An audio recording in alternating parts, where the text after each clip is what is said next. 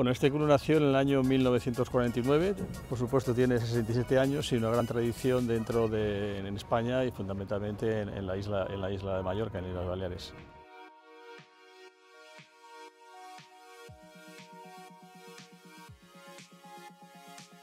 Pues esto es antiguo, esto hace, hace tiempo, hace tiempo que, la familia real pues, distinguía una serie de clubes por una serie de razones como reales club náuticos, ¿no? Porque estamos en una monarquía y entonces pues el rey, no todos los, los clubes náuticos de España tienen la categoría de ser reales.